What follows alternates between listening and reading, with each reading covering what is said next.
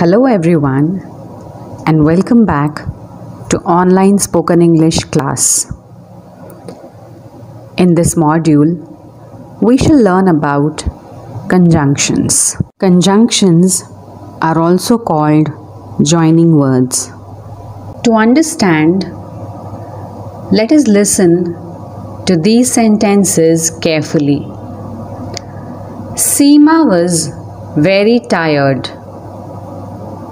She went to sleep. These are two independent statements which are trying to say that Seema was very tired. She went to sleep. Now, instead of using two sentences, we can express the same meaning in just one sentence.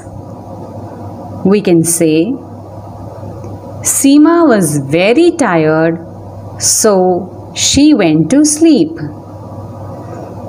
The new sentence is more impactful than the earlier two sentences. Yet, the meaning remains unchanged. Here, we have joined the two sentences using the word so. Conjunctions or joining words are words that join words or sentences. Let us now see how to use the conjunctions and, both, and, not only, but also. These conjunctions are used to join two or more statements which have related facts. Please look at these examples carefully.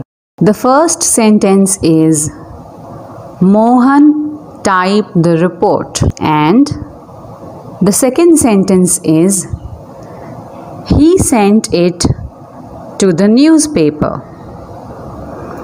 These are two independent statements. We shall join these two sentences using the conjunction and. Please repeat this sentence after me. Mohan typed the report and sent it to the newspaper. Now, let us look at the second example. Here, the first sentence is Pavan is rich, and the second is Pavan is generous. We shall join these sentences using the conjunction both and. Please repeat this sentence after me. Pavan is both rich and generous.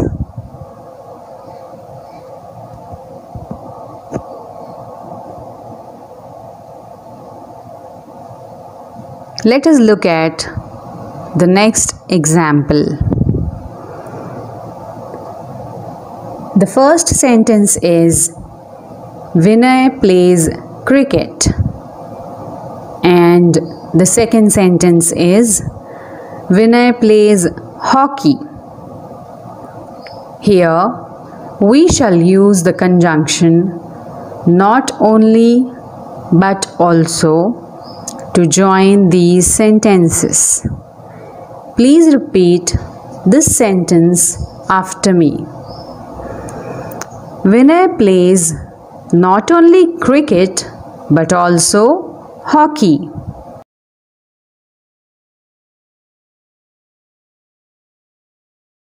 Let us now see the use of the conjunctions but, still, and yet. These conjunctions are used to join statements which express contrast or opposition. Let us look at some examples. The first sentence is I tried my best. And the second sentence is I could not open the cupboard. You see that these two statements express contrast or opposition with each other.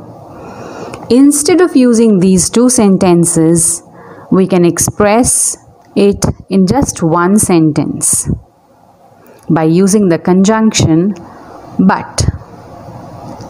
Please repeat this sentence after me. I tried my best, but I could not open the cupboard. Similarly, in the next example, we have two contrasting statements. Geeta did not work hard. She passed the exam. Now we shall join them using the conjunction still. Please repeat this sentence after me. Geeta did not work hard, still she passed the exam. In the same way, the conjunction yet is used to join the next two sentences. Karan was Arjun's enemy, Karan admired Arjun's bravery. Please repeat this sentence after me. Karan was Arjun's enemy, yet he admired his bravery.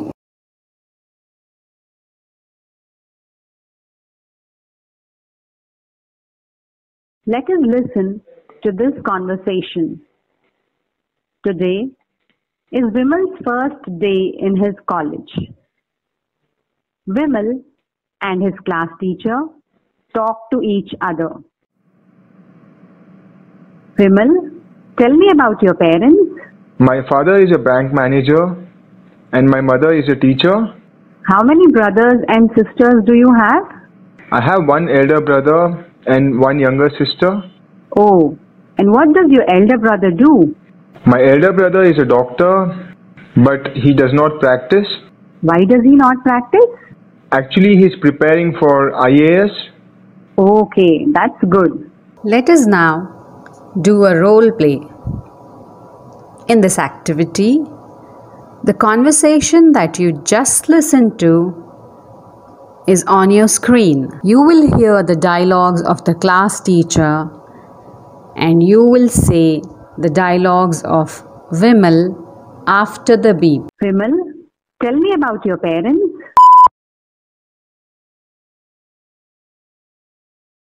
How many brothers and sisters do you have?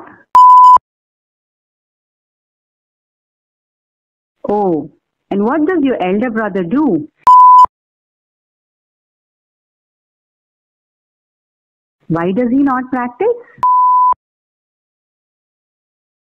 Okay, that's good. Let us recapitulate what we have learned in this module. We discussed what are conjunctions, the usage of the conjunctions and, both and, not only but also, but, still, and yet. Listening practice and a role play.